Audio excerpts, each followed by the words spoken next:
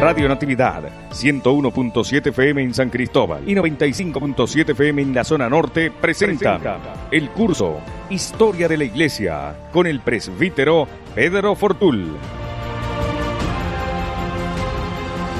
A este, a este curso de Historia de la Iglesia Antigua, iniciativa de la Diócesis de San Cristóbal en Venezuela, también de Monseñor Mario del Valle Moronta, que junto a la oficina de prensa del padre Joan Pacheco, los seminaristas Giancarlos Yepes y Carlos Peña están organizando como parte de la formación del pueblo de Dios también en medio de, esta situación de pandemia. Recordar www.diócesisdesancristóbal.online también a través de nuestro canal de YouTube diócesisdesancristóbal.be. Recordar además que se ha creado un correo electrónico para hacer llegar hasta el grupo logístico que está coordinando esta actividad. Historia de la iglesia curso 1 arroba gmail.com para hacer llegar todas sus inquietudes, sus preguntas, eh, también sus comentarios y así poder eh, dar respuesta a aquellos, aquellas interrogantes que van surgiendo conforme progresamos en este curso de historia de la iglesia en su época antigua. Además de esto, recordar que también nos encontramos en Radio Natividad, la emisora católica del Táchira, en el horario de 10 de la mañana y 9 de la noche.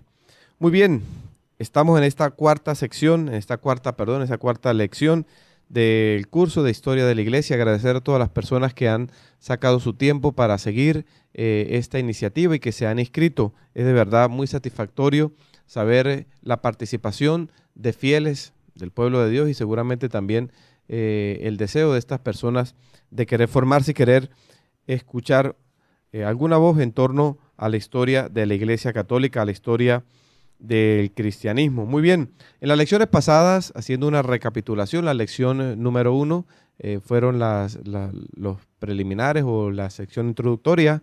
En la, segundo, en la segunda lección recordamos algunos algunas argumentaciones para hablar del Jesús histórico, que es el mismo Cristo de la fe. La pasada lección, la tercera lección, eh, vimos un poco eh, la circunstancia en la que el mundo podíamos clasificarlo, hacemos la clasificación del mundo pagano, el mundo eh, hebraico también, que recibe el nacimiento de Cristo y recibe también el nacimiento de la iglesia de Cristo.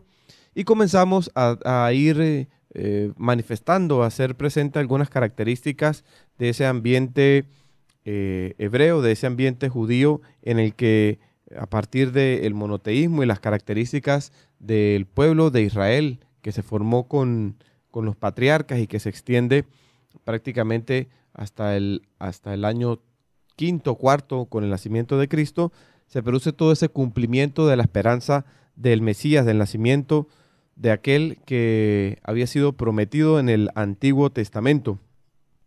Y tuvimos la posibilidad de eh, enumerar o hacer referencia a algunas condiciones religiosas y políticas y además sociales, además del genio característico que formaba parte de esa cultura hebrea.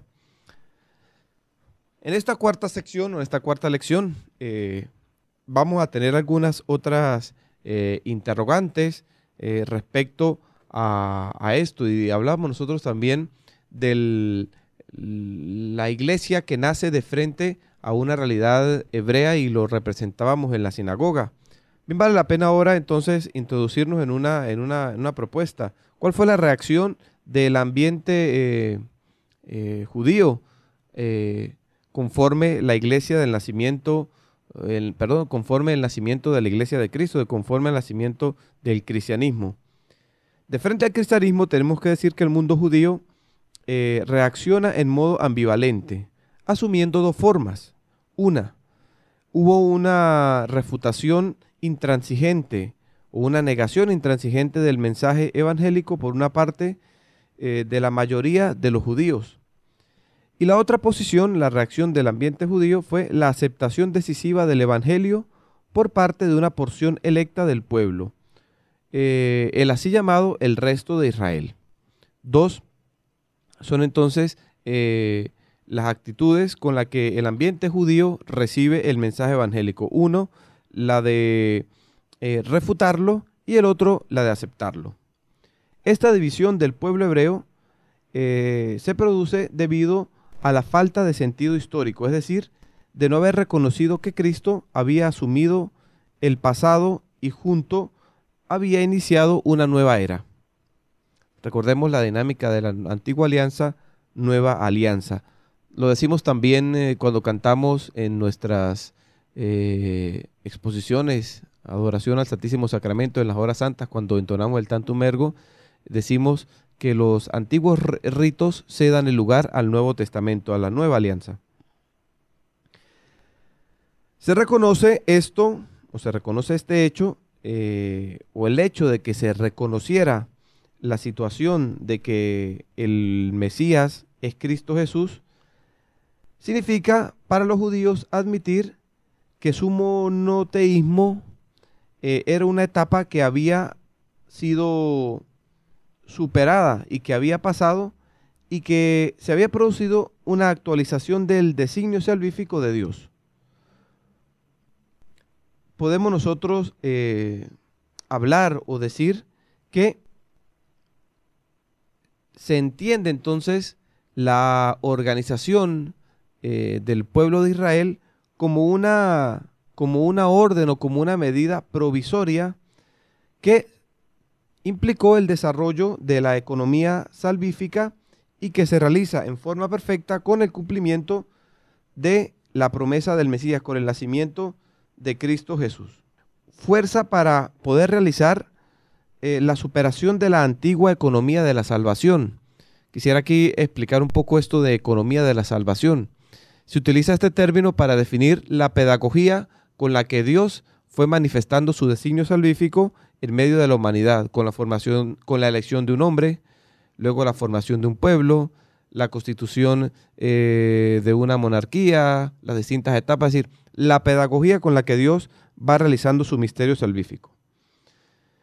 Cristo esto se los recordó, y no solamente Cristo, sino que también Juan Bautista, Juan el Bautista, eh, les reclamó a los escribas de interpretar la ley, la Torah, demasiado literal y materialmente. Pero si se realiza una separación eh, que va a traer dolores, que va a traer sufrimiento y que va a producir eh, un drama, eh, en este sentido, ese drama produce dentro de la iglesia y en la misma iglesia un proceso de renovación. A estos motivos de refutar la nueva, la nueva alianza, se pueden agregar algunos otros. Una, la secularización eh, psicológico-política de la promesa de Dios y el asumir en forma eh, demasiado eh, exterior el cumplimiento de la ley y por lo tanto la situación de incomprender a Cristo por aquellas dos actitudes que surgía en el corazón de quienes adversaban el mensaje del Evangelio, que era los celos y la envidia.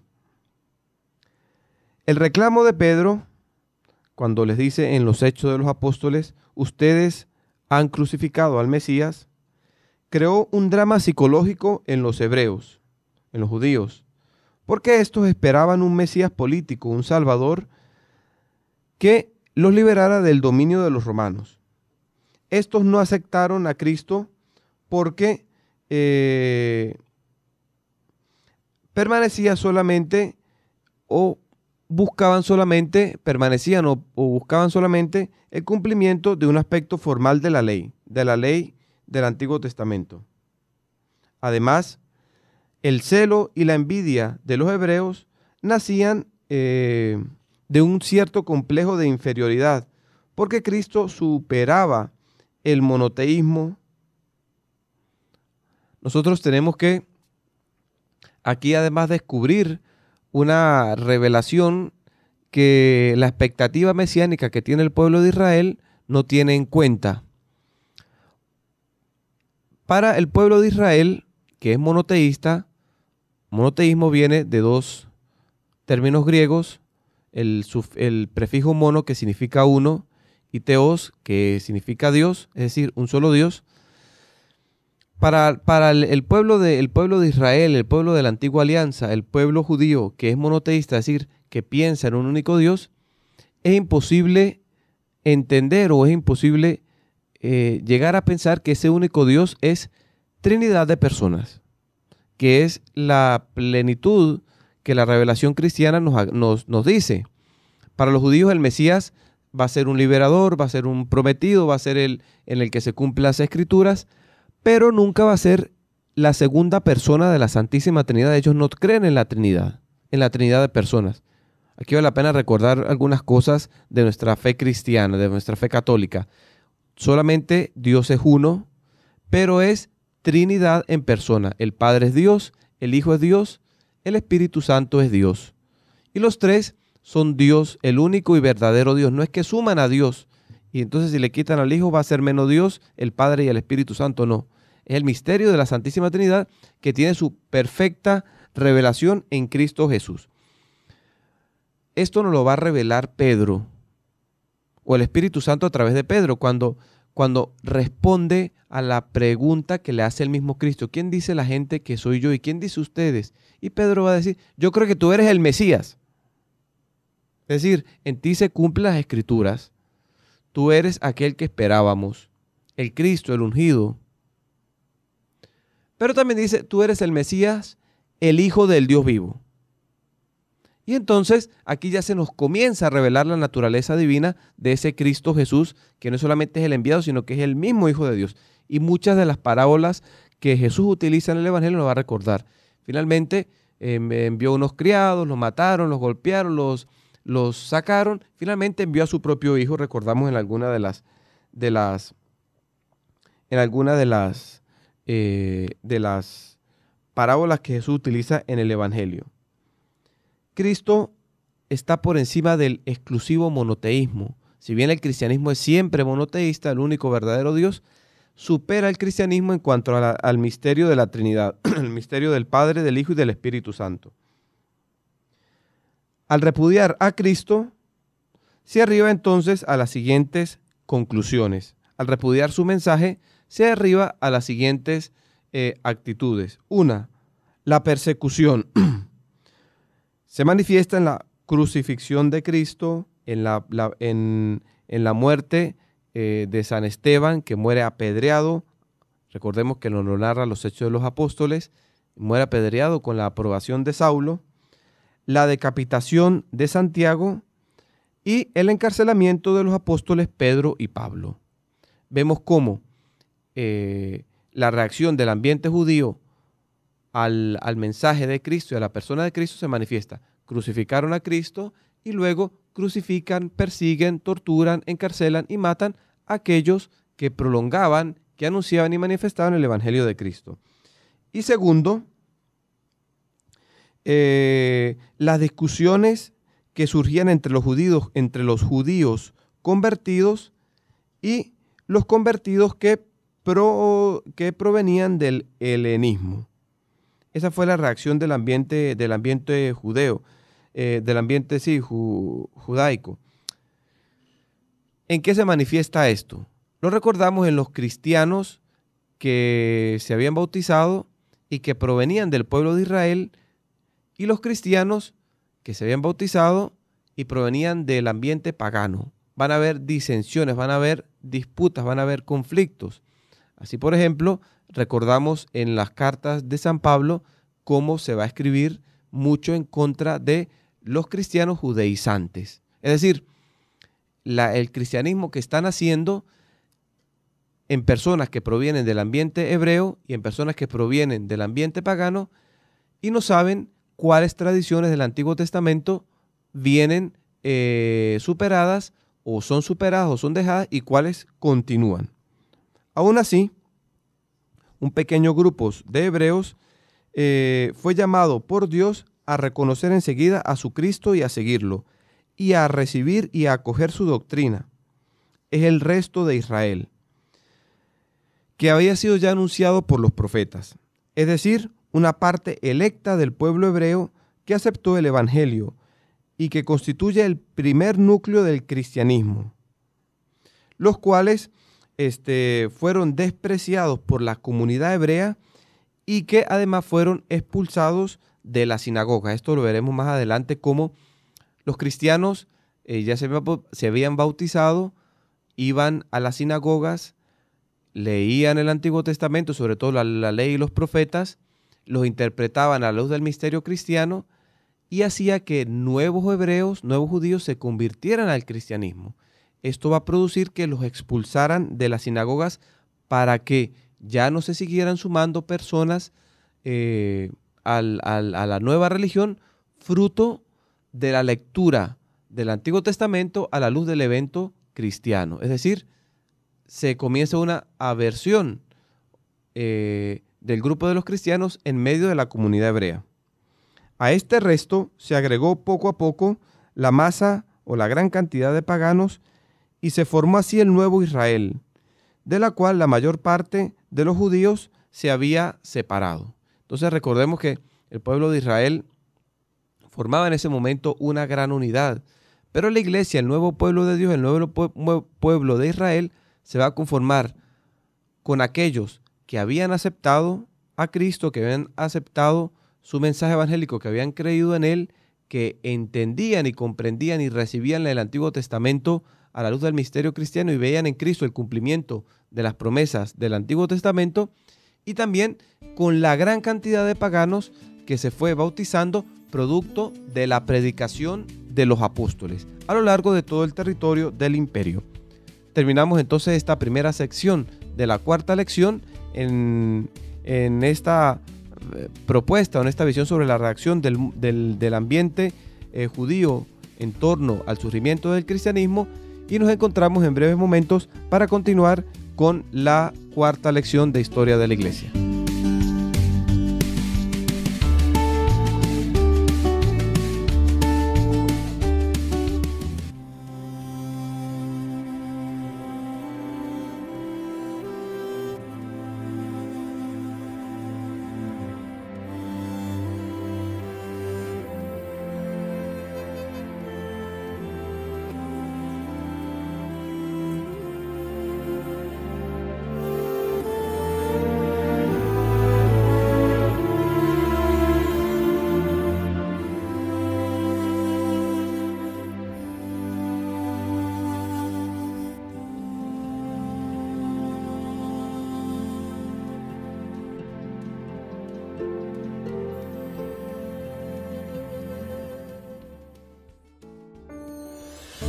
Disponibles todas las lecciones del curso Historia de la Iglesia en el canal de YouTube Diócesis de San Cristóbal VE.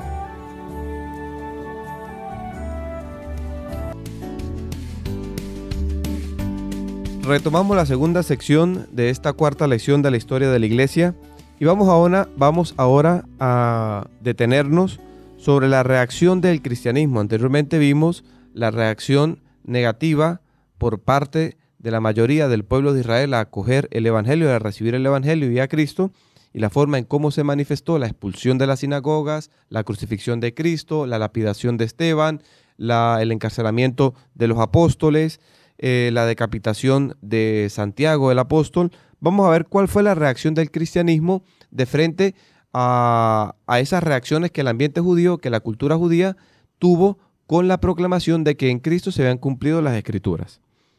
La Iglesia, según la dinámica de la encarnación, no demostró jamás hostilidad hacia el judaísmo, sino que asumió una actitud adecuada a la, actitud y a la novedad que Cristo había enseñado. Recordemos que Cristo eh, ya les había anunciado a los discípulos, a los apóstoles, los perseguirán por mi causa, los expulsarán, todo el mundo los criticará, eh, serán odiados por mi nombre. Cristo ya había anunciado eh, durante su ministerio eh, aquí en la tierra, durante su predicación, que sus discípulos serían perseguidos por su causa. Se comenzó entonces eh, a insertar a miembros del pueblo elegido en la sociedad mesiánica para guiarlos hacia aquella más eh, perfecta observancia de la ley que Cristo había enseñado. tenemos que recordar aquí a personas también eh, que tenían una gran profundidad y conocimiento de la ley. Pensemos a, a Nicodemo, que era un conocedor de todas las escrituras, cómo sienten en su experiencia vital una insuficiencia eh, o, insuficiente vivir eh, como estaban viviendo hasta ese momento la ley, quizás de forma solamente eh, literal o interpretación literal o, exclusivamente formal, y cómo Cristo, que es el sentido y la razón profunda de la ley, interpreta su correcta vivencia y pueden dar el paso de la conversión o del, o del aceptarlo como, como Mesías. Lo mismo sucedió con Pablo. Pablo era de la escuela de Gamaliel, era fariseo, conocía muy bien todo el Antiguo Testamento, pero Cristo viene a darle a Pablo, sobre todo con esa gran experiencia, lo que, lo que los teólogos eh, llaman la Pascua de Pablo, el encuentro de, de, Pablo con Cristo, viene a producir eh, esos pasos que tiene que dar este profundo conocedor de todo el Antiguo Testamento e interpretarlo según eh, las enseñanzas de Cristo y entonces así entender aquel que cumplía la ley en forma farisaica, entender la forma más noble y la correcta observancia de todo aquello que había sido escrito. Por eso es que Pablo este, después va a ser un ferviente y inclusive apasionado predicador, porque todo lo que había constituido parte de su historia vital y que había aprendido desde, su formación, especialmente en la escuela de Gamaliel, a la luz del misterio de Cristo va a encontrar su razón, va a encontrar su eh, eh, forma de vivirlo. Todos los que respondieron a esta, a esta llamada constituyen el primer núcleo del nuevo Israel. Se mostró los cristianos eh, mostraron eh, una actitud respetuosa y siempre comprensiva hacia las costumbres judías, ya que tenemos que ver que el mismo Cristo cumplía, eh, y sobre todo los apóstoles fueron testigos de que él cumplía la ley, y lo dice en, en el Evangelio, yo no he venido a abolir la ley ni los profetas, sino a darle su pleno cumplimiento, su plena, su plena razón. Los discípulos fueron testigos de esto y por eso ellos eh, no es que comienzan a romper con todas las tradiciones eh, hebreas, judías, sino que tienen esa actitud que Cristo tuvo mientras compartió con ellos aquí en la tierra, una actitud de comprensión y una actitud siempre de respeto.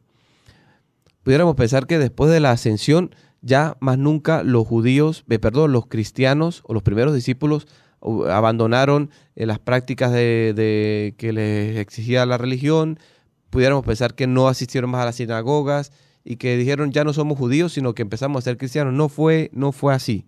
Realmente es un proceso, un proceso en el que ellos mismos conservan lo auténtico eh, o la, la, auténtica interpretación de la antigua alianza como Cristo se los había enseñado, ¿no? Además de esto, los cristianos eh, valorizaron eh, la antigua alianza emitiendo eh, una respuesta a partir del contenido que Cristo les había dado y mantuvieron ciertos elementos de carácter cultural, cultural y litúrgico que, que, vienen del ambiente judío. Por ejemplo, ellos no fue que más nunca conservaron o destinaron un día para celebrar o un día destinado a Dios. Eso se mantuvo en la iglesia y se mantiene hoy en la iglesia. Además, mantuvieron la fiesta de la Pascua, pero a la luz de la nueva Pascua, a la luz de la Pascua de Cristo, a la luz de la Eucaristía, la celebración de Pentecostés y otras fiestas cultuales del pueblo de Israel. Además, mantuvieron elementos materiales que estaban unidos a realidades semíticas que están presentes en los sacramentos.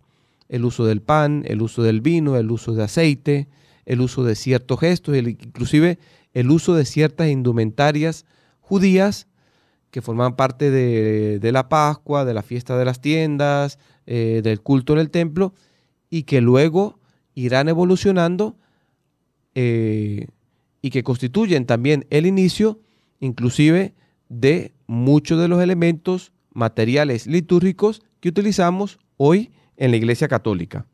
Por ejemplo, la estola.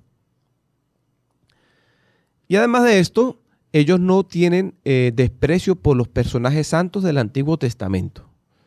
Se continúa a considerar a Abraham, a los patriarcas, a los profetas como hombres santos, como hombres de Dios. Es decir, hay una eh, continuidad y una discontinuidad eh, en, la actitud que la iglesia naciente tiene de frente al hebraísmo o a la vida de los judíos. Los cristianos utilizaron también formas de expresión propias de la mentalidad de los judíos en el escribir y en el transmitir el mensaje cristiano.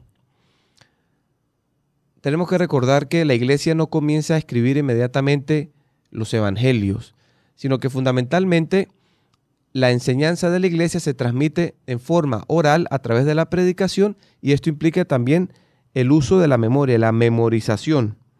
Además, en el Nuevo Testamento se encuentran eh, los tipos de lecturas o los tipos de escritura o de literatura que podemos nosotros encontrar en el Antiguo Testamento, en el, Testamento hebreo. Nosotros hablamos de, un género literario apocalíptico y no es un género literario exclusivo del ámbito cristiano del Nuevo Testamento, sino que encontramos eh, en el Antiguo Testamento escritos eh, escritos de género literario que posee esta característica apocalíptica. También escritura eh, o literatura de tipo históricos, proféticos, apologísticos y demás. Y además, encontramos también en el Nuevo Testamento procedimientos de redacción como las genealogías. Pensemos a la genealogía que se encuentra en el Evangelio de San Mateo, en el capítulo 1, y que abre el Evangelio. Eso es típico de las formas literarias eh, hebreas, judías, y también eh, la, genealogía que nos transmite San Lucas. ¿no? Vemos allí esas formas semíticas que la iglesia, por haber nacido en un ambiente semítico, pues tiene como propias y utiliza también en su, en su, en su evangelización, en su transmisión de la doctrina de la fe de Cristo. Otra, el uso de las parábolas y también eh, el género eh, literario de las bienaventuranzas. Entonces vemos cómo hay una continuidad eh, a partir de, de los primeros momentos en que la iglesia comenzó a salir, a predicar, a comunicar el mensaje del Evangelio. Bien, introduzco la tercera sección de esta cuarta lección de historia de la iglesia el primer libro de la historia de la iglesia son los hechos de los apóstoles. Vamos a ver entonces la iglesia en los hechos de los apóstoles. Las fuentes principales, aunque si no es completa de la historia de la iglesia que nace, se encuentra sin duda alguna en los hechos de los apóstoles. Es un escrito, o fue escrito por San Lucas, aquel que escribió también eh, el tercer evangelio. Muy interesante a este punto sería eh, tomar la Biblia eh, y revisar los primeros versículos que Lucas escribe en su Evangelio y allí encontraremos cómo él, después de haberse informado de todas las cosas, escribe a Teófilo todo lo referente a Cristo. El libro de los Hechos de los Apóstoles es la continuación, en cierto sentido, del Evangelio que Lucas nos transmite.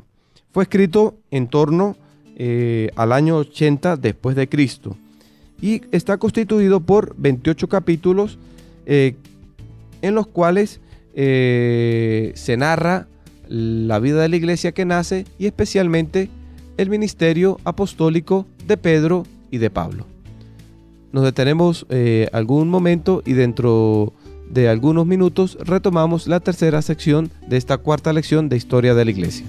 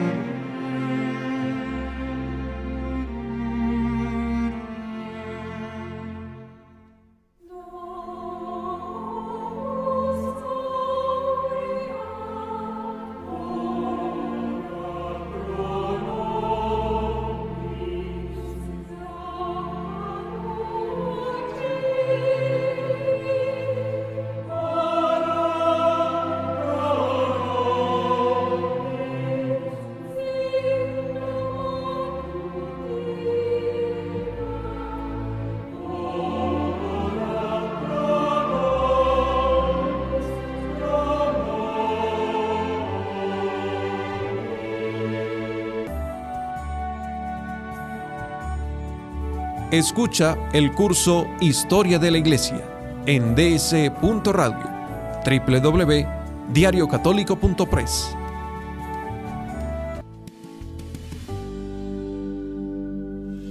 En la sección anterior de esta cuarta lección nos habíamos introducido en eh, el libro de los Hechos de los Apóstoles como este primer libro, pudiéramos decir en sentido estricto, de la historia de la iglesia que nace.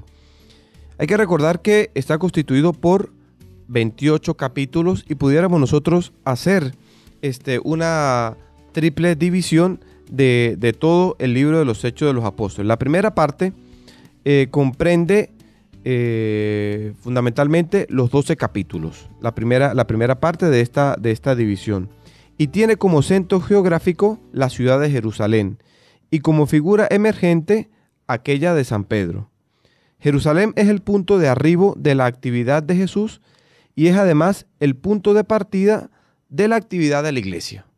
Recordemos que el Evangelio de San Lucas es un continuo peregrinar de Cristo hacia Jerusalén, donde se realizará el misterio pascual, el de su muerte y el de su resurrección. Por eso es un punto de arribo. Jesús tiene que ir a Jerusalén a vivir la Pascua, a realizar la Pascua. Pero también Jerusalén, por ser el lugar donde Cristo sube al cielo y también el lugar donde reciben el Espíritu Santo, va a ser Jerusalén el primer lugar donde se comienza a mover los discípulos, donde se comienzan a mover los discípulos y el punto desde el cual la iglesia va a salir a predicar hasta los confines del mundo. Aquí en Jerusalén se forma la primera comunidad y está compuesta por el grupo de los judíos que se han convertido al cristianismo. Son de lengua aramaico-hebraica y esta primera comunidad se ha formado en torno a los doce. Muy bien, nosotros aquí tenemos que hacer también una, una distinción que seguramente en el curso de San Pablo, este Monseñor eh, Mario y, y el padre Edwin hicieron referencia. Todos los que seguían a Jesús son discípulos, pero en medio de los discípulos Jesús constituyó al grupo de los doce. La iglesia, la primera comunidad o la comunidad primitiva de la iglesia que se forma en Jerusalén en torno a los doce, esto lo encontramos eh, en los capítulos 3 al 5, y luego la iglesia cómo se amplía, ¿sí?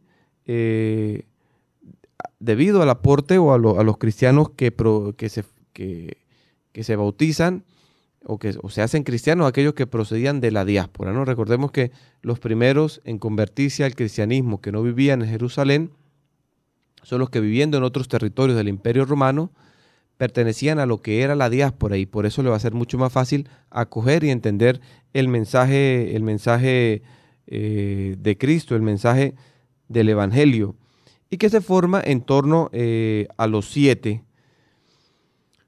Esto lo encontramos en el capítulo 6 y 9 de los eh, Hechos de los Apóstoles. Pedro se convierte a la misión entre los paganos y inaugura también oficialmente el nacimiento de la iglesia en dos ambientes paganos.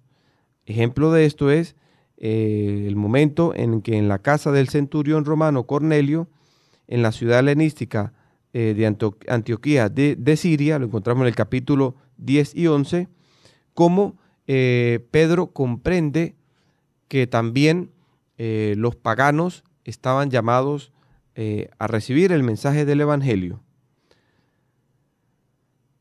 Aquí, entonces, eh, surge eh, la conciencia importantísima de la misión adyente, es decir, de salir a predicar a los cuatro vientos, es decir, predicar a todas las personas el mensaje de Cristo, no solamente un mensaje exclusivo para los judíos. Y así entonces la comunidad base eh, que se va a formar con Bernabé y Pablo, que lo encontramos en el capítulo 12 de los Hechos de los Apóstoles. Jerusalén será todavía el centro de la reunión eh, de la iglesia durante el concilio apostólico que lo encontramos en el capítulo 15 de, los mismos Hechos. Entonces vemos cómo eh, comienzan a salir, comienzan a predicar en la misma ciudad, ya el hecho que salen de ese lugar donde se habían escondido por miedo a los judíos, comienzan a realizar la evangelización y luego se va ampliando, se va ampliando y se va haciendo universal, no solamente por dirigirse eh, a todas las partes del mundo, sino por la conciencia que se va teniendo de que el mensaje cristiano no era solo exclusivo para los que provenían del pueblo de, la fe de los padres, es decir, de los miembros del pueblo de Israel, sino que el mensaje de Cristo era para todos.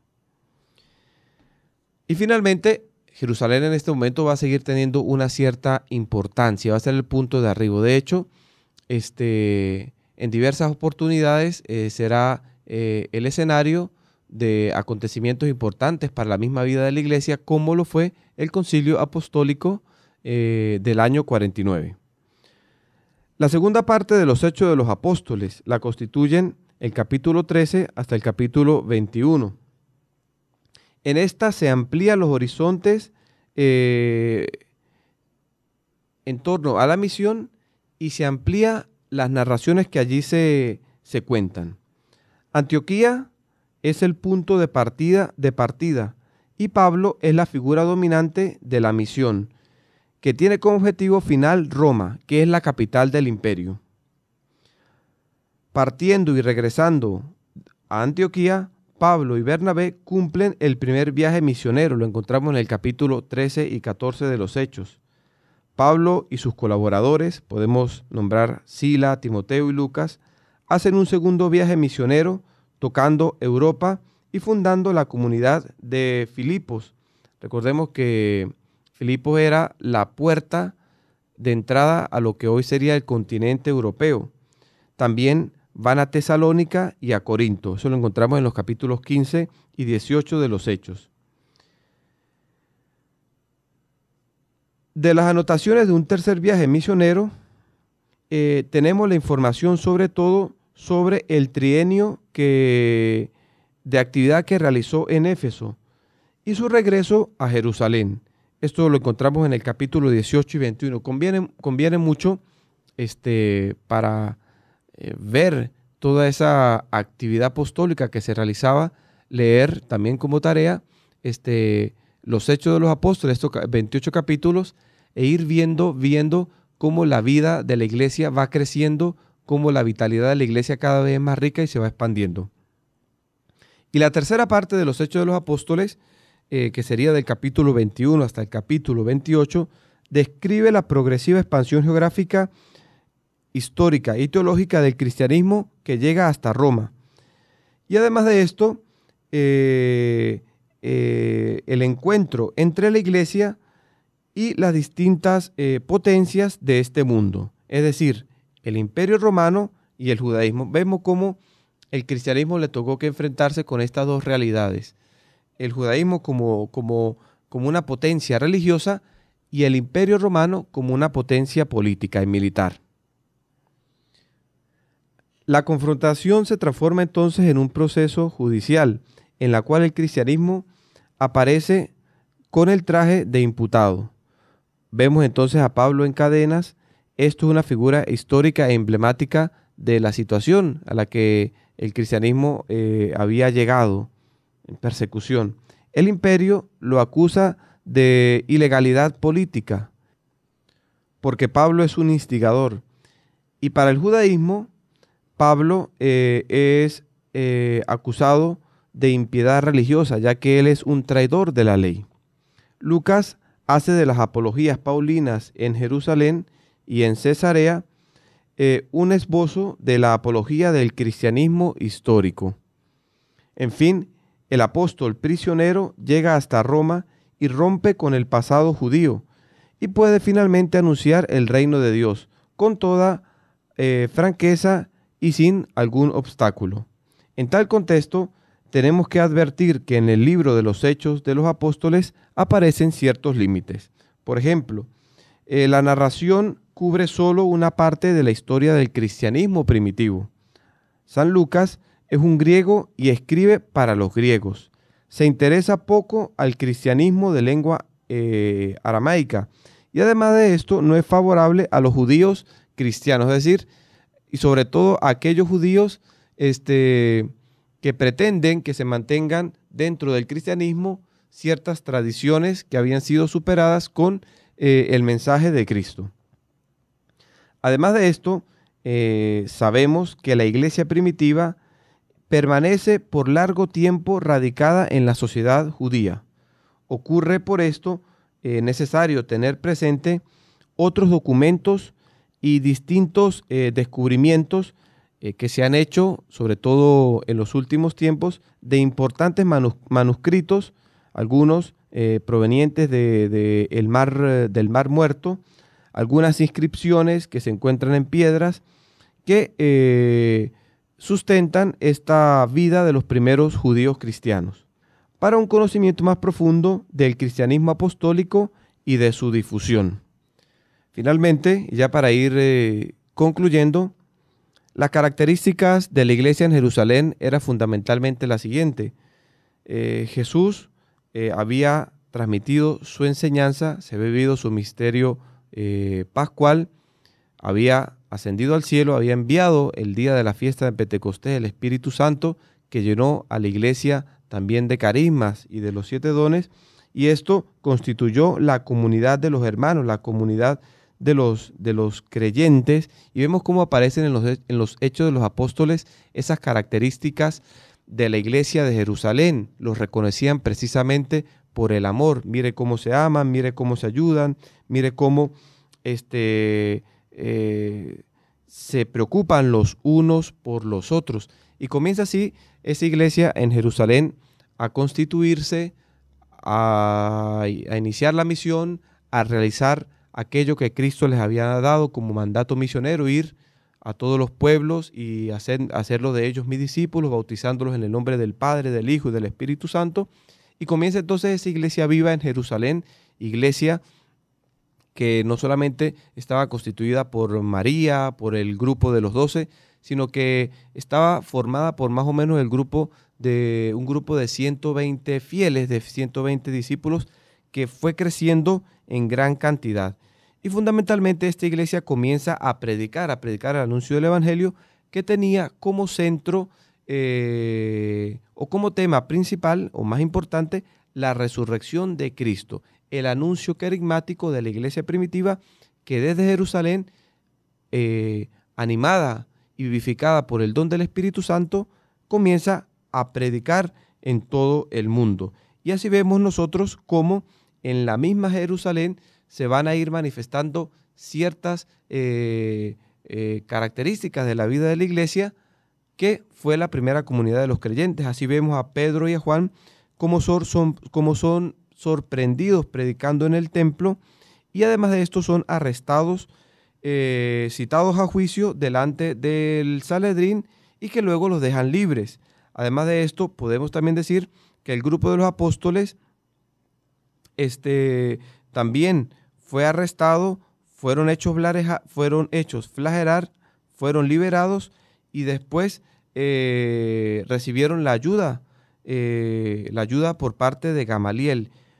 También eh, tenemos que decir que en Jerusalén, Santiago, hermano de Juan, sufrió el martirio por el designio de Herodes Agripa a causa de su odio a la casa de Ana. Y vemos cómo comienzan a aparecer también allí los primeros mártires testigos del Evangelio. Ejemplo de ellos es Esteban, diácono, que tuvo el coraje de proclamar delante al Saledrín eh, su anuncio del Evangelio que Jesús es el Mesías y que luego fue este, condenado a ser apedreado y cuya lapidación fue aprobada por eh, un hombre que más adelante se constituirá también en el gran apóstol de los gentiles, que eh, en ese momento era Saulo de Tarso. Entonces vemos esas características de esa iglesia en Jerusalén. No solamente este, recibieron el Espíritu Santo, sino que allí mismo en Jerusalén la iglesia comenzó a realizar su actividad misionera, anunciando el querigma, obedeciendo el mandato de Cristo de predicar por todo el mundo y también teniendo que sufrir la persecución, la cárcel y el martirio como Esteban y Santiago a causa del Evangelio de Cristo. Muy bien, Recordar entonces www.diocesisdesancristóbal.com y además el correo electrónico preparado para recibir sus inquietudes, preguntas y comentarios, historia de la iglesia curso 1 arroba gmail.com.